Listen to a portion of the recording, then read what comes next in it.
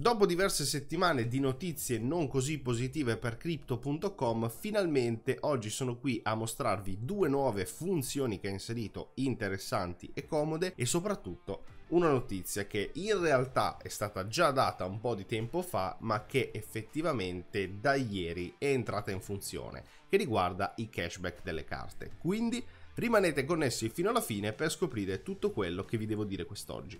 Ma prima di partire con il video ti ricordo del mi piace di supporto, per te gratis e per me una grande mano, di iscriverti al canale così mi aiuti ad arrivare ai 100.000 iscritti, anche questa cosa è gratis e la campanellina mi raccomando non dimenticartela e poi in descrizione nel primo link trovi il link invita un amico di crypto.com. Se ti vuoi iscrivere e mettere in staking da 350 euro in su di CRO sia io che te riceveremo 25 dollari di bonus, quindi se ti vuoi iscrivere ti lascio il link in descrizione. Come ormai la maggior parte di voi sa, Crypto.com nell'ultimo periodo ha fatto diverse riduzioni, partendo da quella dello staking dove i tassi di interesse sono stati abbassati, fino ad arrivare a quella del cashback delle carte che è stato ridotto di tanto fino ieri che c'è stato un ribilanciamento, soprattutto dopo aver visto una risposta molto negativa da parte degli utenti. Adesso ci leggiamo molto velocemente la notizia e vi faccio vedere soprattutto le percentuali aggiornate ad oggi. Ed ecco qui le percentuali di cashback delle carte entrate in vigore ieri 1 giugno 2022. Possiamo vedere che una volta che scade il nostro staking, perché giustamente la carta ci rimane,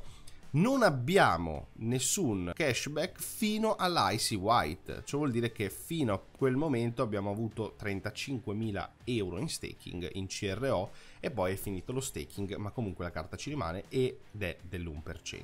L'Obsidian del 2%. Invece con lo staking attivo, che è una cosa un pochino più ovvia, non abbiamo comunque più nessuna percentuale alla Midnight Blue che sarebbe quella praticamente che non devi mettere nulla in staking la Ruby torna ad avere almeno un 1%, prima era lo 0,5 e all'inizio era il 2, poi il 2% sulla Royal Endingle, sull'IC il 3 e l'Obsidian il 5, praticamente è slittata di eh, una posizione le varie percentuali. Ed ora che vi ho mostrato i cashback delle carte aggiornati, ci tengo a mostrarvi invece le due nuove funzioni che ha aggiunto Crypto.com di vitale importanza e comodità. Andiamo a vederle. Possiamo notare che all'interno del menu ci sono due nuovi voci, Recurring Buy e Target Price. Ed ora ve le spiego, anche se in realtà, ripeto, sono semplicissime il recurring buy non è null'altro che un piano di accumulo. Finalmente Crypto.com ha aggiunto questa funzione. Per coloro che non sapessero cosa fosse un piano di accumulo, molto semplicemente, come dice anche la parola di recurring buy, è un acquisto ricorrente. Possiamo decidere su quale asset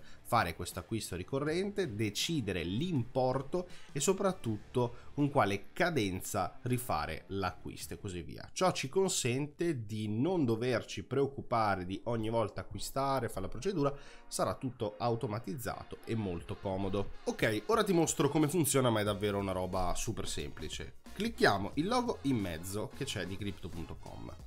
Facciamo recurring buy, ci aprirà questa schermata, setup, Qui scegliamo la cripto che vogliamo riacquistare sempre in modo continuativo, facciamo che ne so Kronos.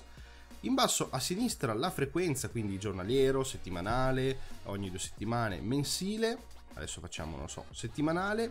Possiamo scegliere ogni che giorno si va a ripetere, lunedì, martedì e così via, il metodo di pagamento che non aprirò e poi ogni effettivamente con che importo fare questo acquisto. Ad esempio 15 euro. Il minimo in questo caso è 13,50 euro ecco abbiamo fatto il nostro piano di accumulo. Target price, ancora più facile. Possiamo decidere di attivare un acquisto automatico o una vendita automatica quando il prezzo raggiunge il target che abbiamo impostato. Lo spiego ancora più semplice, ad esempio voglio acquistare Bitcoin ad un prezzo stracciato, metto il target price a 26.000 dollari, Bitcoin per cause del tutto a me ignote arriva a 26.000 dollari in automatico crypto.com acquista il quantitativo di bitcoin che gli ho detto di acquistare se avesse raggiunto i 26.000 da lì io naturalmente impazzito di gioia di aver acquistato bitcoin a quel prezzo decido di impostare un altro target price però questa volta in sell